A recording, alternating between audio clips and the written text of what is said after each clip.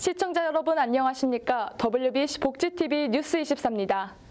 복지TV 연중 캠페인으로 이동약자를 위한 취재를 기획했습니다. 첫 번째 소식으로 휠체어 이용자들이 외출하기 위해선 알아봐야 하는 것들이 많은데요. 휠체어가 들어갈 수 있는 환경인지, 건물 접근성부터 이용자 상황에 맞춘 보행로까지 맞춤형 정보를 제공하는 휠체어 전용 내비게이션이 이동에 편의를 주고 있습니다.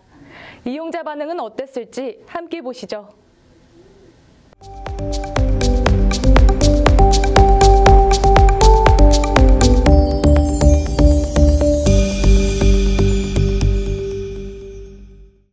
새로운 길을 찾아가거나 목적지를 향해 가야 할 때 비장애인은 지도를 보고 쉽게 이동할 수 있습니다.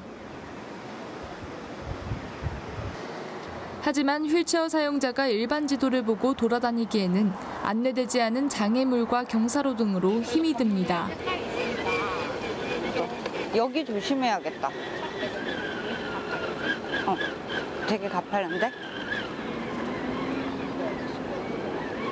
이에 휠체어로 갈 수 있는 길과 건물에 대한 정보를 안내해주는 휠체어 전용 내비게이션이 이동의 편의를 제공하고 있습니다. 이 주변에 혹시 화장실이 있을까? 화장실. 우리가 서울 스퀘어를 갈 건데, 어, 여기 표시가 되어 있네요.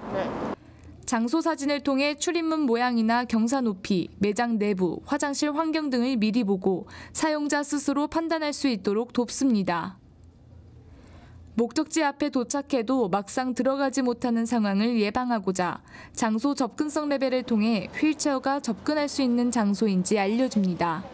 이제 목적지가 식당이면 그 식당에 전화를 걸어서 휠체어가 가려고 하는데 혹시 그 식당에 뭐 턱이 있는지 엘리베이터가 있는지 이런 것들을 저희가 물어보고 이렇게 다니고 했는데 그렇게 물어보고 가도 막상 가면 비장애인 시선에서 이 정도면 들어올 수 있지 않겠어라는 그런 턱들이나 그런 게 되게 많았어요. 휠체어 전용 내비게이션은 목적지까지 최단 거리를 알려주는 일반 앱과 달리 2cm 이상 턱이 있는 곳이나 경사진 곳, 좁은 길 등을 걸러내고 편한 길로만 안내합니다. 이처럼 보행로 정보와 건물 접근성 정보를 제공하기 위해서는 데이터 수집이 중요합니다. 이동정보 리서처의 조사로 휠체어 사용자가 안전하고 자유로운 이동이 가능합니다. 다만 아직 공사 현장 인근 도보의 실시간 정보 제공 등 미흡한 부분도 존재합니다. 더 위로 올라가야 되나? 아니면 가도 되나? 공사를 할 때 언제부터 언제까지 그 날짜 기간이 있잖아. 그러면은 그 기간을 뭐 예를 들어 여기 공사 구역 하나를 더 늘려서 어 여기서부터 요- 그러면 우리가 그 보행 정보 수집하는 어, 거에 맞아요. 그지? 되게 좋겠다. 그, 그- 기간이랑 같이 이렇게 응. 찍어가지고. 출발지부터 목적지까지 휠체어 이용자에게는 울퉁불퉁한 보행로와 가파른 경사로 등 넘어질 위험이 있는 장애물과 보행로 환경에 대한 실시간 정보가 중요합니다.